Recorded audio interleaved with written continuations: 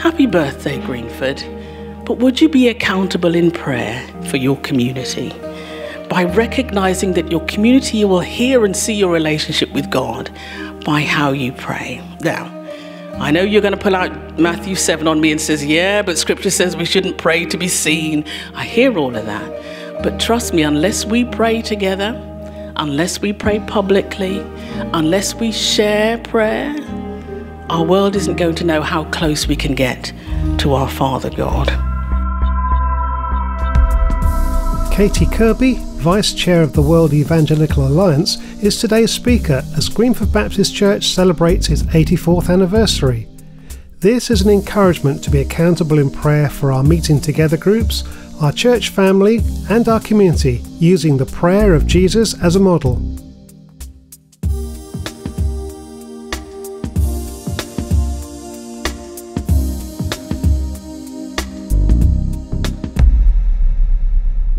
Father God, thank you that you've been with us this morning. Thank you that you've already spoken to us, you've already challenged us. Thank you for your presence with us. Thank you, Father God. Thank you for Katei coming and sharing with us this morning. Father, we thank you for her ministry to us in the past and for her, her wider ministry within the church. Thank you for the privilege of having her here this morning, but more than that, the privilege of having you here speaking through her this morning. And we just ask you afresh to anoint her with your spirit this morning and to bring your word into our life as a church community together and into our lives as individuals through Katei.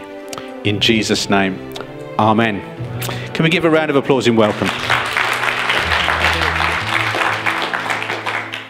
Well, I take it that was for me. Can we give an applause to our Almighty God now? He's wonderful. Well, good morning and thank you for the welcome back to Greenford Baptist Church. You'll see from your uh, bulletin that was handed to me at the door, I thought it was interesting. This is my third time here. You have been warned.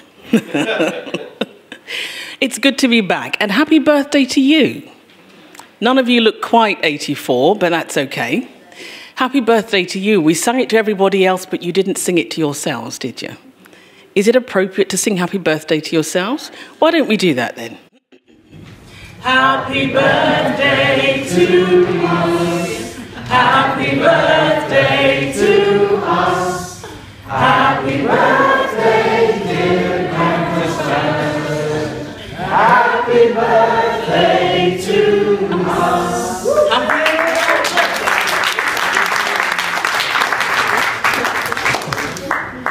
I, I need to confess to you that on the way here, I said to God, confirm your word before I get there. Uh, and I've been welcomed by Steve, who is running a tab of everything I'm using and saying, so I'm expecting a bill before I leave. Uh, I've been welcomed by Warren, who last time I was here was full of some kind of lurgy, but he tells me he's good to go. And he's been ordained and stuff since, which I think is fantastic. Means you have to act all grown up now, Warren? Not a chance, I know, I know. But God has been doing great things here, and I want to say thanks to God for confirming His word before I came and for doing so since I've got here uh, this morning. I've said to one or two folks, because it's been confirmed, I think I can go now, okay? But I'll be faithful to the word that God's given me, and you'll hear why. When I came in this morning and was offered a lovely cup of coffee and felt very special because nobody else was apparently offered a coffee, I said to God, as I'm listening to the hymns and the prayers and the worship that went on before, I want to hear you. And the lovely lady who led the first session today began talking about what God had done, is doing, and will do in our communities. Your pastor, Pastor David, got up and talked about the history and the halls and all the rest of it. And I said to God, yeah, I was praying that this would be a time that Greenford Baptist Church recognizes its rich heritage. And here's you saying, this is where you've planted them to be and to have an effect. And he's doing that. He's doing that. The last time I was here, Pastor David, I did look around for the flag of Antigua. It still ain't here. Something to work on for next time, okay? Something to work on for next time. But what is still here is the presence of God. What is still here is the beautiful cross that, even though today's Palm Sunday, came to be a symbol of pain and yet freedom for so many. So it's good to be at home with Greenford Baptist Church today. Turn your Bibles to John 17. And I want us to begin to hear the heart of God for you. Pastor David said, who I'm uh, grateful for for this in- invitation today.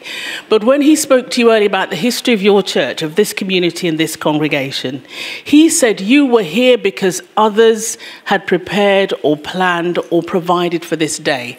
And he only went back as far as 1929.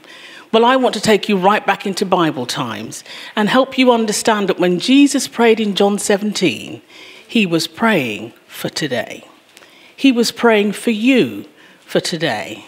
And he was praying for the church that will be in the next 84 or 85 years.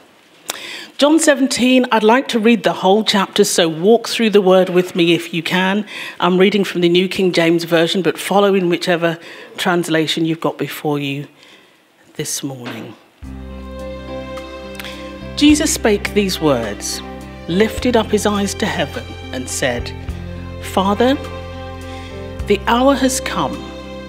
Glorify your Son, that your Son also may glorify you. As you have given him authority over all flesh, that he should give eternal life to as many as you have given him. And this is eternal life, that they may know you, the only true God, and Jesus Christ, whom you have sent. I have glorified you on the earth. I have finished the work that you've given me to do. And now, O Father, glorify me together with yourself, with the glory which I had with you before the world was. I have manifested your name to the men whom you've given me out of the world. They were yours. You gave them to me, and they have kept your word. Now they have known that all these all things which you have given me are from you. For I have given to them the words which you have given me, and they have received them, and they have known surely that I came forth from you, and they believed that you sent me. I pray for them. I do not pray for the world, but for those whom you have given me, for they are yours and all mine are yours, and yours are mine, and I'm glorified in them. Now I'm no longer in the world, but these are in the world. And I come to you, Holy Father, keep through your name those whom you've given me, that they may be one as we are one. While I was with them in the world, I kept them in your name. Those whom you gave me, I have kept. None of them is lost except the son of perdition that the scripture might be fulfilled. But now I come to you, and these things I speak in the world, that they may have my joy fulfilled in themselves. I've given them your word, and the world has hated them because they're not of the world, just as I am not of the world. I do not pray that you should take them out of the world, but that you should keep them from the evil one. Sanctify them by your truth. Your word is truth. As you have sent me into the world, I have also sent them into the world. And now for their sakes I sanctify myself, that they also may be sanctified by the truth. I do not pray for these alone, but also for those who will believe on me through their word, that they all may be one, as you, Father, are in me and I in you that they also may be one in us, that the world might believe that you sent me. And the glory which you gave me, I have given them, that they may be the ones, they may be one just as we are one. I in them, and you in me, that they may be made perfect in one, and that the world may know that you have sent me and have loved them as you've loved me. Father, I desire that they also whom I desire that they also whom you gave me may be with me where I am, that they may be hold my glory which you have given me. For you loved me before the foundation of the world.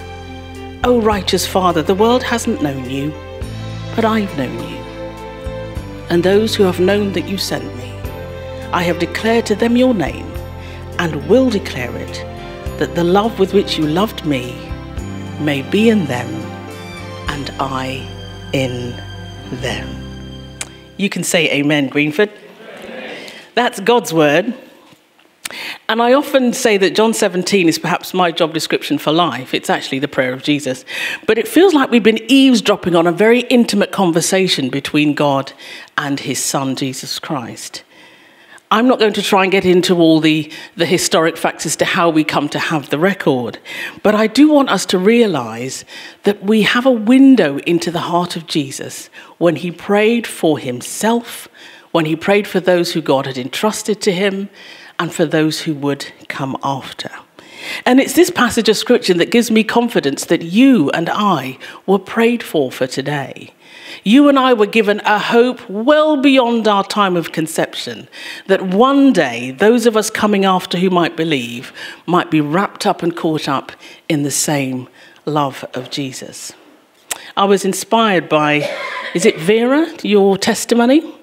I love what God's doing in you because it's very similar to my own story of God bouncing me into something almost backwards that I might hear Him and know Him and do His will. And as I've shared with one or two of you since I've come in, the very fact that I'm stood in front of you today is an answer of God's prayer, not mine, in John 17. I love what we see first. We see Jesus saying, Ah, finished it. almost sighing with relief, almost using his opening prayer to say to God, I've done what you sent me here for. Notice he's not saying in this passage, I've had enough. He's not saying in this passage that I've done as much as I can and, you know, get me out of this. I'm not a celebrity, but you know what I mean. He is saying, I have been faithful to the things you've called me for the task, the journey, the responsibility, the challenges. I've worked, I've walked, I've loved through them all. I have done what you've asked me to do. And I love that because that's not the usual way we're taught to, to start our prayers, at least not in the traditions where I come from. We've been taught to use the Our Father prayer as a model, and you start with giving adoration to God. Well, actually, Jesus starts by saying, Father, oh, I'm done. uh, yeah, I've completed the things you sent me. You gave me a task, and here is where I'm saying, I'm accountable, finished. I'm accountable, I've done what you've asked. Want to give you an example of a young boy who uh, is the daughter, of, sorry, the son of a, a, friend of mine. I went to visit, single mom with three children. And the toddler uh, was told, you know, Reverend Katei's leaving now, let's come and see her off. And this toddler, and I'm not exaggerating when I say preschool, said, Can, can I pray before she goes? I mean, uh, how lovely. Usually it's a thing the minister does, right? When they're leaving a house, you might say, Can I pray for you? We heard examples of that today this little toddler rustled over, nappies and all, and said he wanted to pray. And I thought, this is going to be cute. You know, it's going to be baby talk, kind of. It's going to be simple, so I'm just going to enjoy it and say amen when he's done. Well, this little boy squared himself up, asked us to hold hands like he was a bishop. I thought it was amazing. And so we did. His mother and I and his siblings, we held hands and held his, squeezed his eyes shut. And he said, God. well, I thought, well, if God didn't hear that, their neighbors definitely did.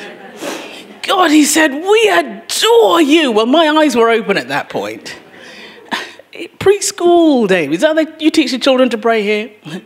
God, we adore you, he says. Eyes scrunched up. You're just amazing, he said. Now, this is sort of eight o'clock in the evening, so it should have been bedtime for this little lad. But he was quite alert and quite clear what he was praying for. He said, God, it's been great to have Reverend Katei in our home. Thank you, God, he said. I'm staring at this little boy. I usually pray with my eyes shut, but I couldn't believe what I was hearing. Thank you, God, he said. And now, Lord, as she's leaving, take her safely and protect her. And he was doing all the mannerisms that went with it. When he finished, I said, Amen. I looked at his mother and he, I said, Where did he learn to pray like that? She said, Oh, I guess he imitates me. He, she wasn't wrong. She could pray down fire from heaven or wherever you get fire from. And he had heard her praying and decided that was the way to pray for people when they came to his home. She prayed with him, she prayed for him, but he had developed that way of communicating with God that was just so powerful. And for a child in nappies, it was amazing to see and behold. Very clear, very audible, very passionate. That young boy is a teenager now and remembers praying, remembers asking if he could pray for me. Doesn't remember too much about what he said, but each time I go, he says, can I pray for you? My answer is always yes. He hasn't got the nappies on now, you'll be pleased to hear that. But he's still found a way to keep praying even as a teenager. Why do I share that story? I think when we pray, we demonstrate our relationship with God it is not about how eloquently we might speak or whether our diction's good or even our grammar is perfect. That really isn't the point. But our opening phrases, the way we connect with God, lets people know how close we are to our Creator. And that's what we see in this opening chapter, uh, opening verses of John 17. Just how close Jesus is to his Father. In fact, he says, Father. He doesn't say Almighty God, maker of heaven and earth and all the rest of it. He just says, Daddy. Father, God, hour has come. Make yourself great in this moment. And when our prayers can connect like that, and people eavesdrop and hear, they get a sense of how close we are to God. Not to the bricks and mortar, as important as that is, and I'm glad you're expanding because it look clearly you need to. But people are not going to be impressed with the size of the building in 84 years. They will remember how this church made them feel. They will remember the relationship you have with God and that you demonstrated to them. So, my first encouragement to you today, as we've read this scripture, is actually to say, Happy birthday, Greenford. But would you be accountable in prayer for your community? By recognizing that your community will hear and see your relationship with God by how you pray. Now, I know you're going to pull out Matthew 7 on me and says, yeah, but scripture says we shouldn't pray to be seen. I hear all of that. But trust me, unless we pray together, unless we pray publicly, unless we share prayer, our world isn't going to know how close we can get to our Father God. So that's my first encouragement to you today. Happy birthday. But would you stay accountable in prayer with your relationship with God? Doesn't mean every time you get on the bus you have to break into prayer. And I say that having come here on public transport and seen it happen very recently. I'm not sure sometimes that that's the best witness, but it does mean that when we do pray, we're not ashamed to do it. It does mean that when we call on God's name, we're not hiding behind something, as we were uh, admonished earlier on in today's service. But it does mean that people get a chance to hear just how loving our God is and how much we experience His love. Stay accountable in prayer. And that means that I'm not going to be um, writing everything down. I, I, worked with the Methodists for a little while in the last three years and just love the way they record everything, everything. Everything's written down. And it's great because it means you can walk into hundreds of years of history and know what went on. And part of their tradition is writing their prayers. I'm not knocking that at all. But isn't it lovely when that communion flows from your heart to the Father God? When your heart and mind just opens up and says, God, as amazing as you are, I am giving back to you all that you've placed within me. I'm honoring you with all of my substance because you are Father God. That's what Jesus was doing. He wasn't saying, squaring up, saying, I'm perfect, got it all sorted. He's saying, I've been obedient, I've been faithful. Stay accountable in prayer for yourselves first. Then Jesus does something interesting. He moves on to pray for those disciples, all of them. Even the son of perdition, as it calls it in one translation. We know he's talking about Judas, right? We know he's talking about the one who the enemy uses to betray and eventually crucify him. But he doesn't leave him out of the prayer. He doesn't say, Lord, just bless the 11, forget the other one. He says, All of them have been faithful. He, that says to me, He's been thinking about all 12 all the time and those who would follow while He was there. These are the ones you gave to me, He said, and they've all been fantastic. Uh, well, they've all been faithful. They've all been good. They have all kept your word, except. And here's the thing when we're praying for each other, because that's important, when we're reaching our arms around the Warrens and the Steves of this world, you can say amen to that. when we're praying for people we like as well as people who might be difficult, when we're praying for people we know really well, we might be related to them or we've been at church with them for a while, or somebody that we don't know very well. There is an example in this prayer of Jesus that gives us the opportunity to include all in prayer, whatever we might feel or think about them. This is what Jesus says. He says, You gave them all to me. It Doesn't say they're all the same. Doesn't say they've all behaved immaculately. He says, You gave them to me, and I've entrusted your love and your word and wisdom to them. It's quite clear about that.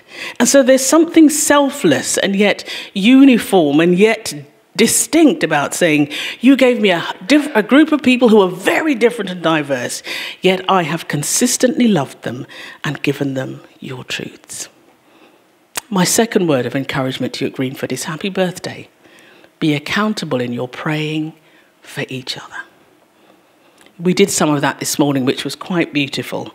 We did some of that as we prayed for those who would go out on mission, and I'm praying that it doesn't stop at Easter, but keeps going beyond this season.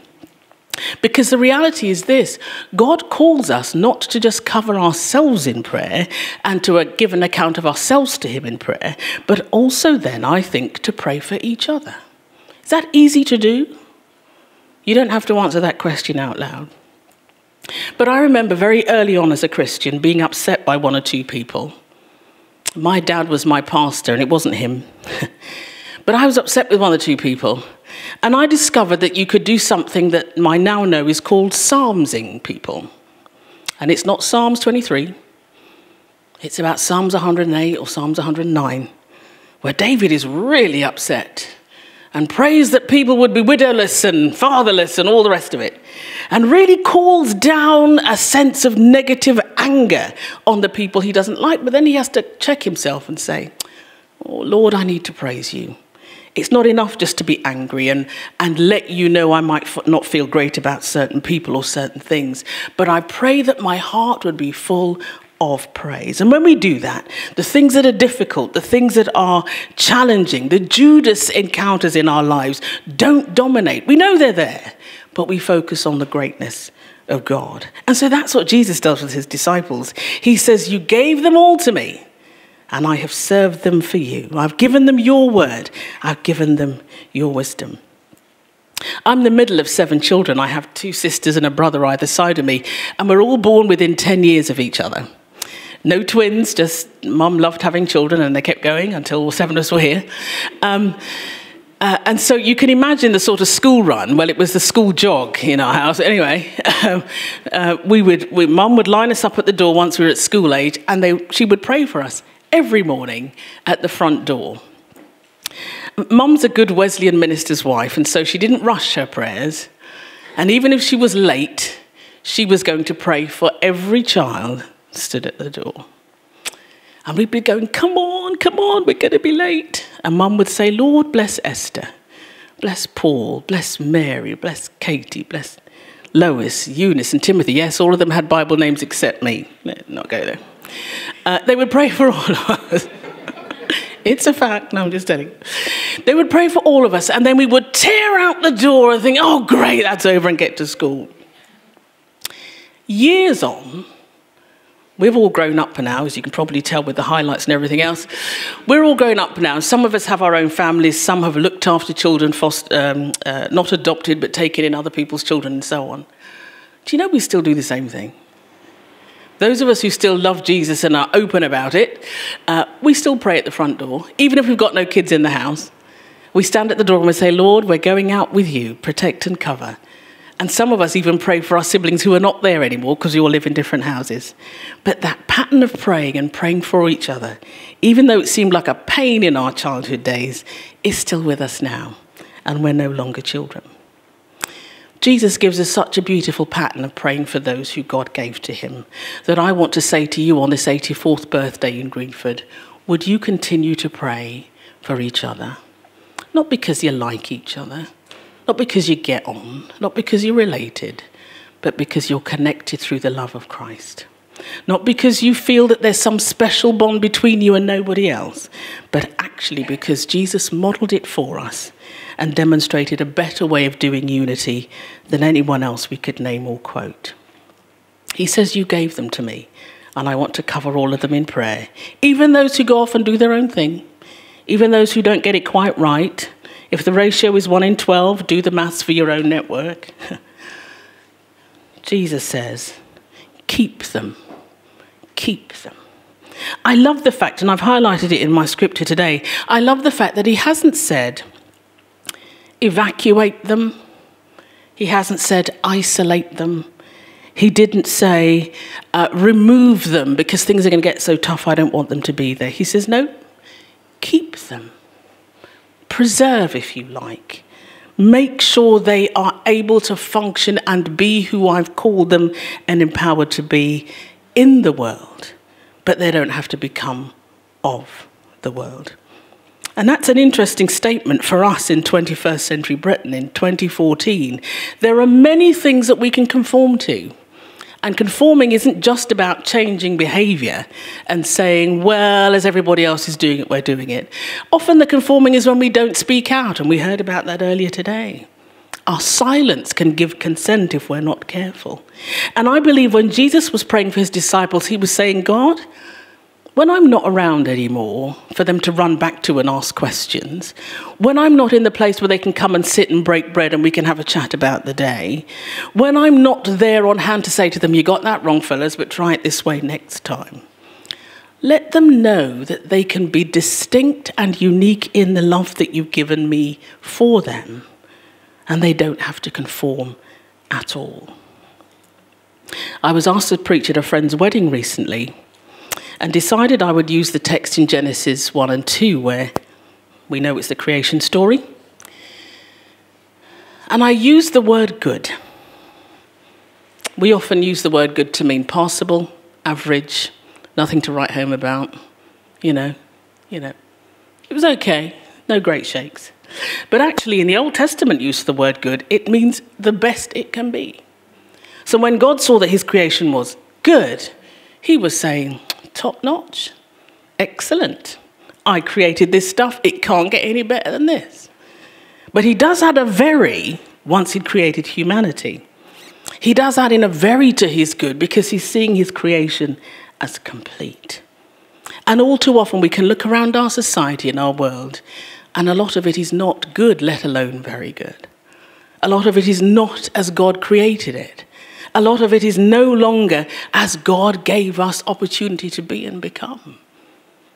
And I believe as we're praying for each other, as we're called to pray for each other, I think the message Jesus would want us to hear through his prayer for his disciples is that sometimes there'll be stuff that comes along that challenges what keeps us together. And when Jesus prayed, keep them from the evil, from the evil one, from the evil of the world, that's exactly what he meant. Keep them so that the stuff that would divide them, would separate them from us, actually has no effect. Actually doesn't take root and become part of who they are because they know how to reject it and they know how to stay faithful to me. That's becoming harder and harder in the 21st century. You and I can go and knock on people's doors, and today they could take you and I to court for something we say in innocence and with love. It can happen. I've already said I'm sure somebody's going to get locked up for saying something genuinely and lovingly just because it upset someone or caused offense. Jesus prayed, keep them in the world. That means when we're popular and when we're not. That means when what we're saying is welcomed and when it's not. That means when we have to protest against something as well as when we have something to celebrate. Keep them in the world. Don't take them out. God wants us to have impact and He wants us to have effect. We can't do it if we're not here. You can't be Greenford Baptist Church if you're not in Greenford, right? God wants you to be kept in the world, but from the evil of the world. And I challenge you Pray for each other because the things that you deal with, your pastor might not have to, and vice versa. Things that he might have to speak up for in your community, in public spheres. It might not be you they call, but they'd look to him for a response. And you need to pray that God gives him the wisdom and the understanding and the knowledge to be fearless and yet confident in what God would have him do. Keep them, says Jesus. Keep them so that they stay true to what I've entrusted to them. Whatever laws change, whatever is redefined in communities, whatever is acceptable today and maybe illegal tomorrow, keep them, says Jesus. Not just in conversation, but in prayer.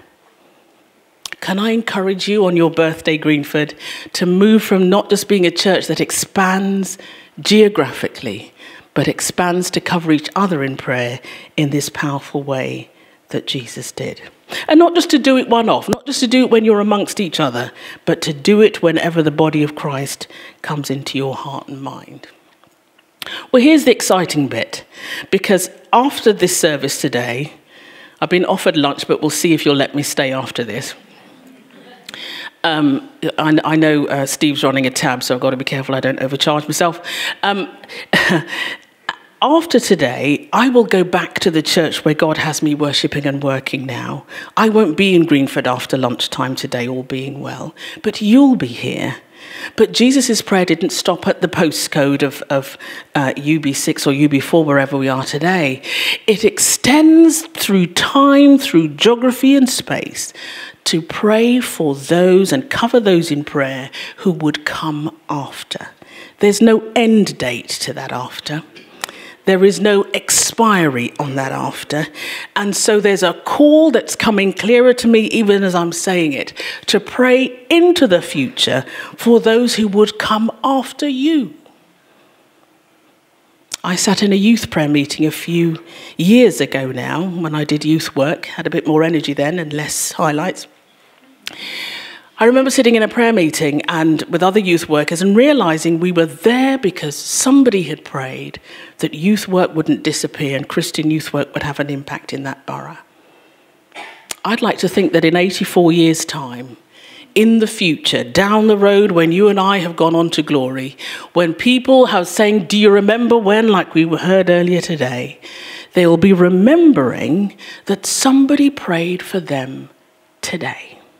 They would know that they were prayed for not because they were expected, but because you hope that God would continue to be a witness in this place and in this postcode. Jesus says, I don't pray for these alone, meaning the guys I've been around all this time, but also for those who will believe through their word. And it may be the word of the word of the word who those have spoken to, that they may be one. He prays for unity in a way that we don't see at football matches, and we certainly don't see in political parties. But he prays for it in a way that says we're connected even over time and space. There's a sense that we should feel connected to our forefathers as well as to those who might be ahead of us. So he says, I'm not praying for those just who are here, who I can see, but I'm praying for those who would come long after, years after, centuries after it, if uh, Jesus tarries those who would come after and believe in the same love and the same God, that they might find that unity of spirit and that covering in prayer. Because there is no end date on that, because there is no expiry, he doesn't say pray until, he doesn't say pray up to, he doesn't even stop at geographical borders. There's a sense that every nation, every people group, both male and female, young and old, are covered in this prayer for oneness and unity that Jesus prays, perhaps at one of the toughest points of his life. It's Palm Sunday today, right? And if we were around in biblical times, it would have been the time when if MORI or Gallup had done a poll, Jesus would have been doing all right. His ratings would have been up there. Trust me, he could have run for prime minister, president, and everything. It was a good day. People were saying, Hosanna, woo, good to see you. Honor and adoration were going to him, but in a short space of time, that public opinion changed.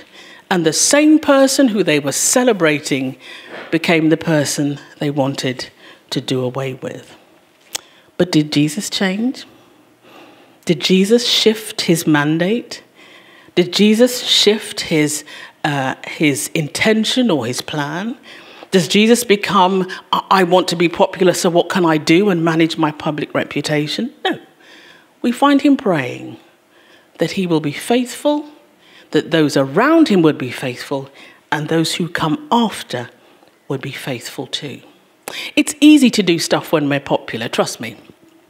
It's easy to do stuff when we are uh, in favor, when people are, are congratulating us, uh, when people value or seem to value what we have to do and what we offer.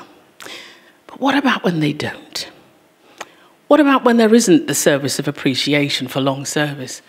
What about when there isn't the recognition? In fact, what about when they're deciding they want to get rid of us for one reason or another?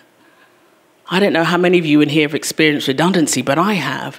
And I know how negative that can feel and how redundant you feel as a result of not being where you thought you might be. But Jesus prays in popularity and out, in times of credit and times of criticism, in times of celebrating, times of commemoration. Keep them, not just these, but those that would come after. That prayer of inclusion came out of this moment of solitary prayer and reached someone like me. That moment of praying in intimacy with his father indicated that down the years, God would see a young black woman, and I am young. God would see a young black woman who would need him just as much as those 12 gentlemen who had been with him during his time on earth. And so he prays for me he prays for you. Lord, keep her, keep them in this world. They'll believe later on they're going to need the same keeping grace and favor from me. So he asks, Father, do this. Do this connecting, do this keeping together, do this loving of these people now so that that witness continues into the future. I want to encourage you today to remain accountable in prayer for yourselves before God, for each other as a body of believers, but for those too who would come after. When I look in this prayer, I'm often realizing what my own shortcomings are. And I ask myself, could I pray like Jesus did in that compassionate, all embracing way. And I'm going to be honest and say some days I don't feel like doing it, but I realize the power and the value of doing it.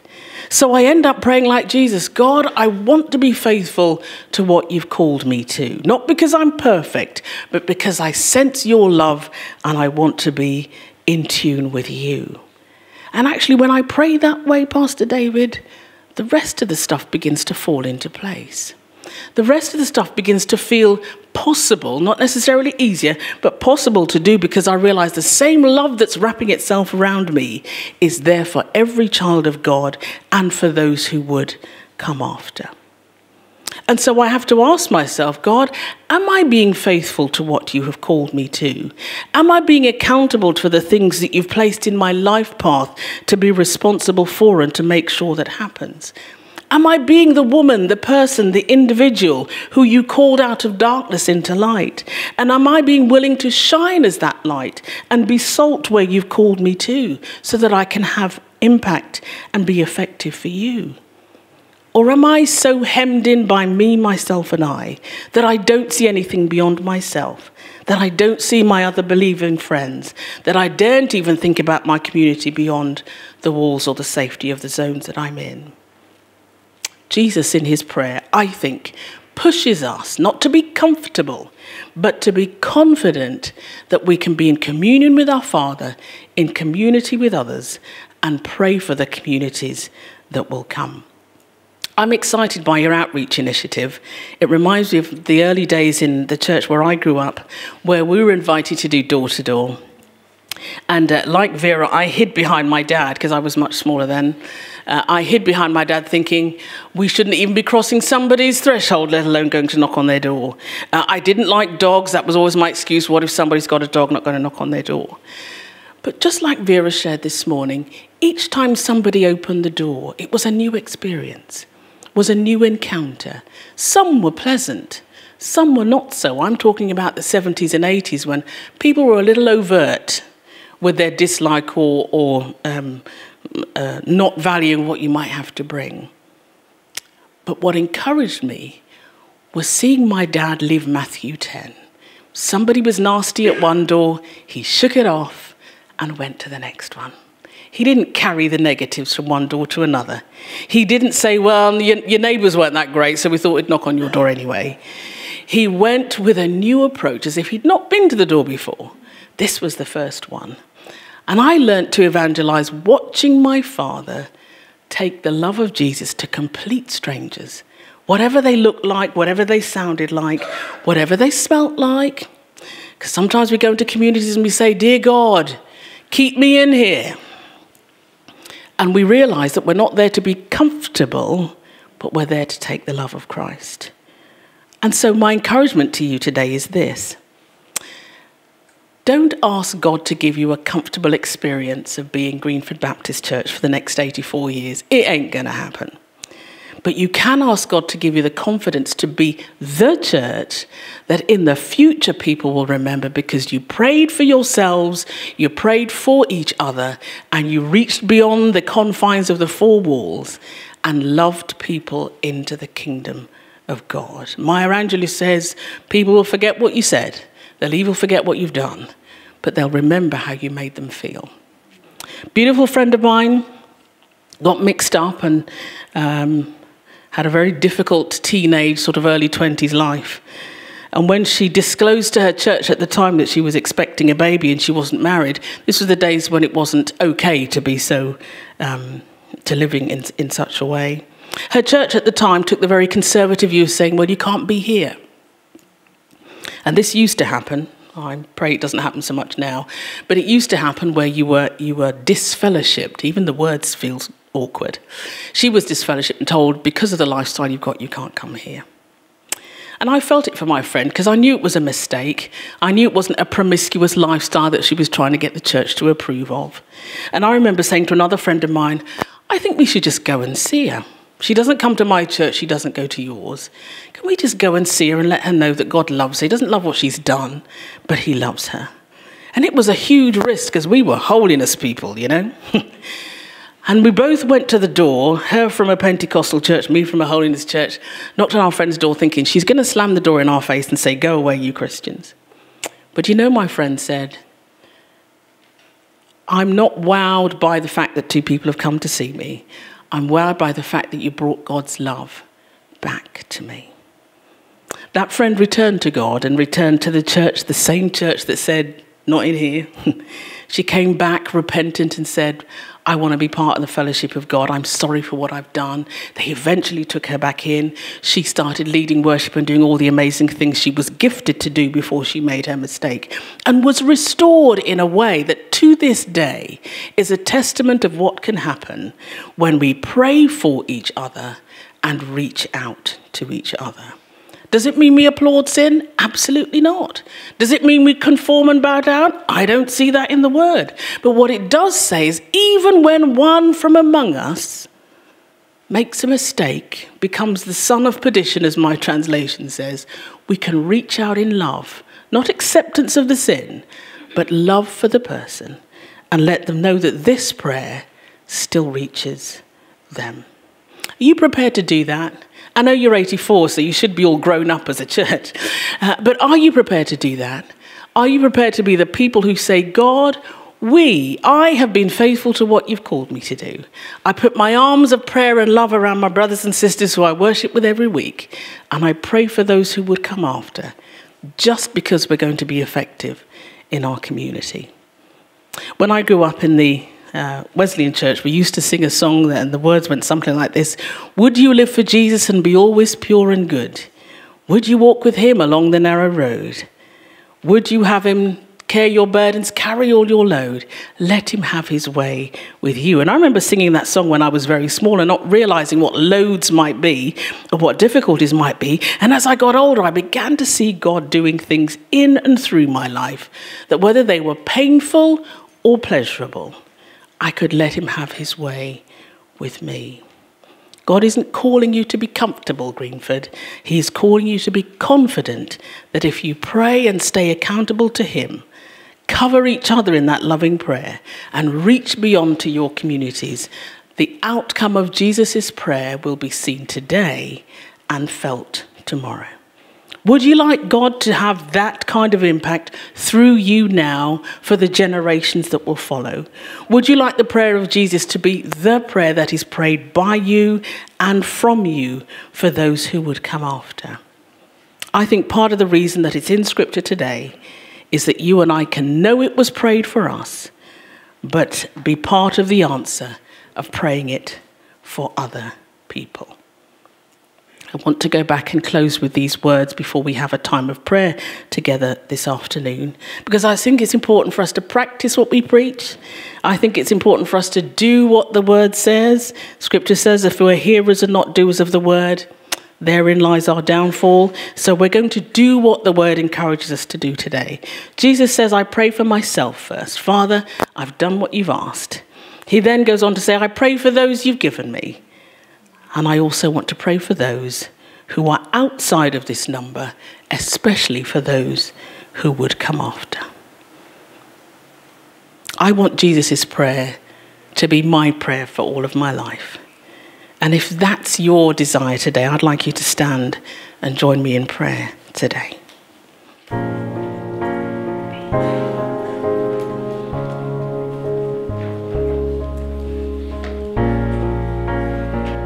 To respond to God's word, I want to invite you to, dare I say, imitate Jesus. And in this first short segment of prayer, to pray on your own, to pray for yourself, not to lift up yourself, but to pray as Jesus did, for Him to be glorified in you. I want you to just take a moment and pause quietly before God and ask God to see your heart Know your thoughts. Understand what He's placed within you. You're willing to give back to Him today. You're willing to say, Lord, glorify yourself in me. Let this be a time that it's you that's lifted up in what I do. The psalmist says, Search me, O God, and know my heart. Let's take a moment to let God know our hearts and our thoughts this afternoon.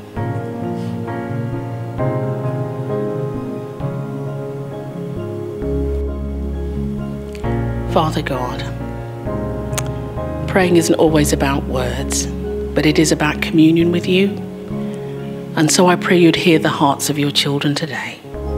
Hear us as your people saying, Lord, let this be a time when who you are to us becomes evident and real, and we have that close connection with you. Let this be a time when your word takes root in us, not just because we've read it, but because we want to become the answer to your prayer. We want to be part of solutions in our society. So, you who know us and created us, you who fashioned us and called us, would you use us for your glory today? And all God's children said, Amen. We do hope you've enjoyed and benefited from this presentation. To learn more about what the Bible teaches us and how to apply this to our everyday lives, check out our biblical teaching videos at gbcweb.tv.